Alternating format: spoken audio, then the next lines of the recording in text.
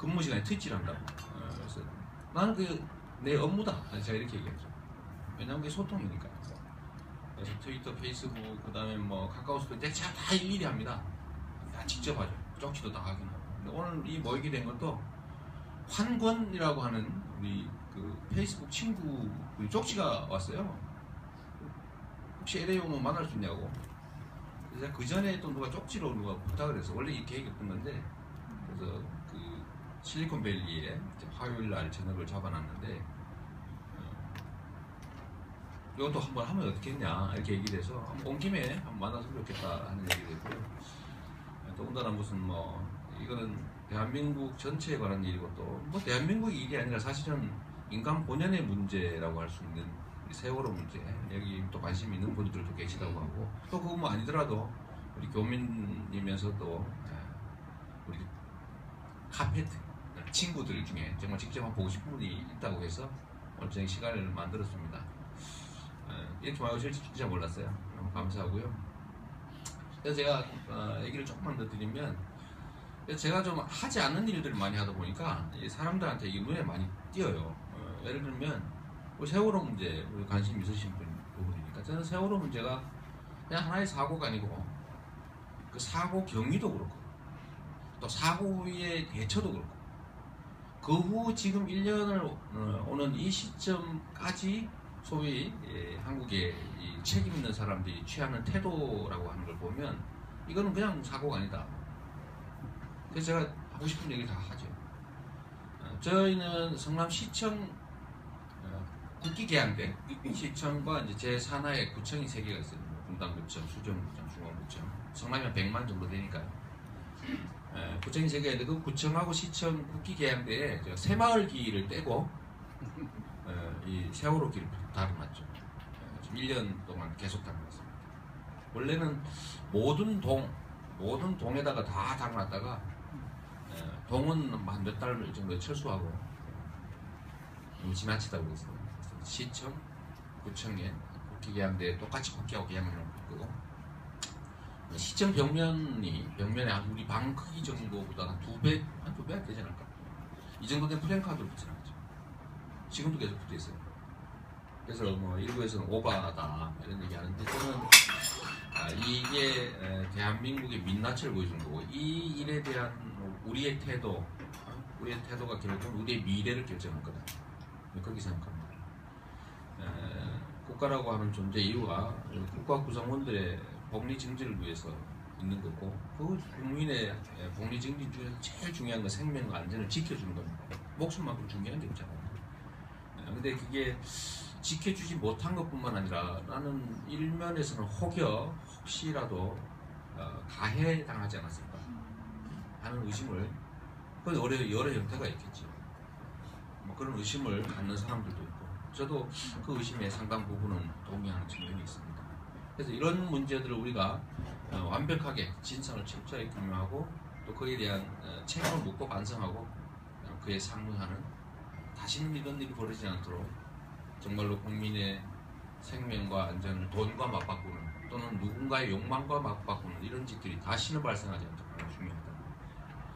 그래서 성남시장이 왜 그런 거 하냐라고 얘기하지만 우리 성남 시민도 대한민국 국민이고 뭐 굳이 구차하게 따지면 성남 시민도 한 명이 죽었고 네 명이 중상을 입었죠. 그 배에 타고 아무도 모르죠.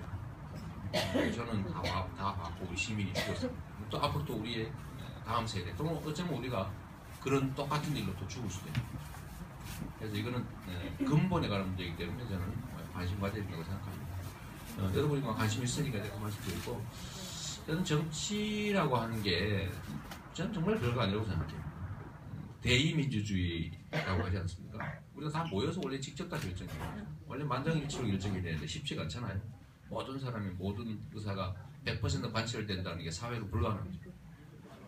그래서 어, 소위 다수결이라고 하는 것도 생기고 또 그것도 쉽지 않으니까 대의제라고 하는 거죠. 누군가를 대신 보고하는 거죠. 그게 정치인이라고 하는 어, 존재들인데 이 정치인이 해야 될 그러면 제일 중요한 일이 뭐냐? 자기들을 뽑아준 자기들을 어, 자기들의 뭔가 권한과 이, 그 예산, 뭐 돈 이런 걸 위탁한 위임한 그들의 의사를 철저하게 반영해 주는 게 본질적인 의무다 이거는 뭐 대단한 것도 아니죠.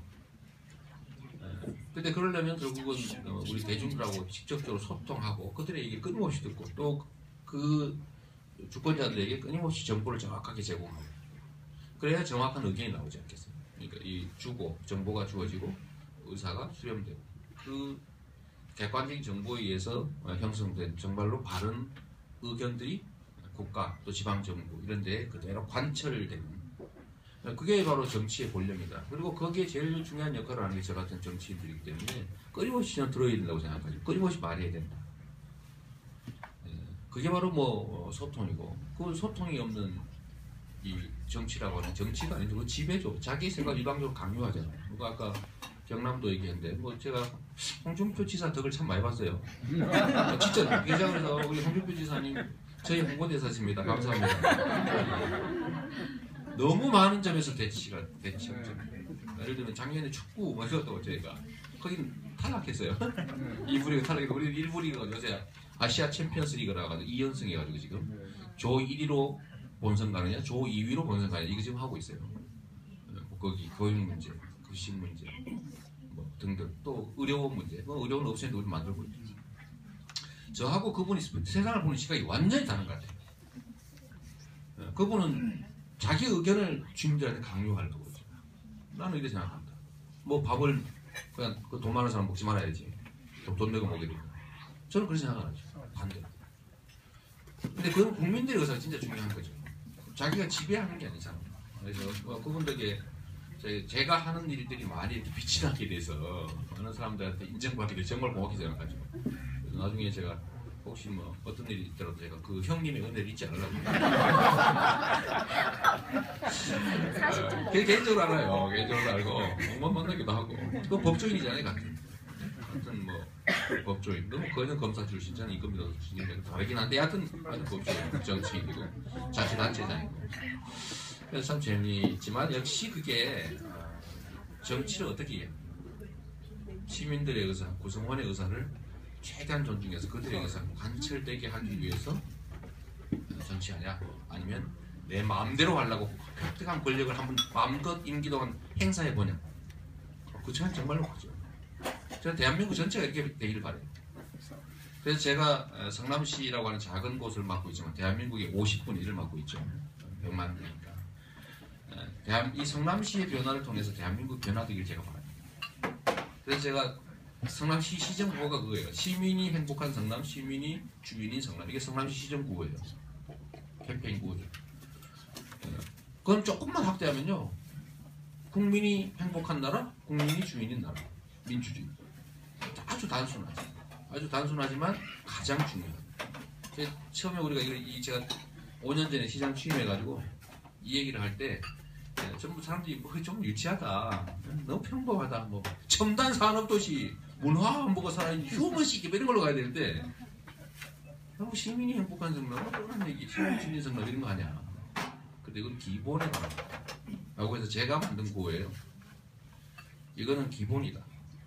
공동체, 그 다음에 좀 나아가는 정치의 가장 기본에 가는 거기 때문에 그냥 기본을 충실하게 해야 돼. 그 다음에 어떤 걸 만드는 건그 다음입니다. 그래서 제가 그 시정구를 만들었고요. 또 한 가지는 제가 그 오늘 혹시 가져왔나 모르겠는데 제가, 제가 책을 하나 썼는데 내 땜을 졸저죠. 뭐 엉터리지. 책 이름이 저거예요. 혹시 뭐, 뭐 많이 보셨을 텐데 꼬리를 잡아 몸통을 낸다. 제가 진짜 하고 싶은 게 그거예요. 제가 어제 대가리가 되겠습니까? 그 대가리 되려면 힘들잖아요. 그 대가리 될 때는 기다릴 수도 없고. 그래서 머리가 되기보다는 꼬리가 되자. 대신 꼬리가 돼서 꼬리를 잡고 몸통을 흔들자. 작은 사례들을 통해서 큰 변화를 만들자. 근데 이게 가능합니다. 그게 인간 사회이기 때문에. 이게, 물, 이게 물리적 사회는 불가능해요. 근데 인간 사회이기 때문에 가능한데 인간 사회에서 이 꼬리를 잡고 몸통을 흔들 수 있는 큰 원동력은 뭐냐면요. 공감이라는 겁니다. 이게 큰 거 아니더라도 아주 작은 거라도 우리가 공감하면 파도가 물결처럼 이렇게 전달되듯이 말이에요.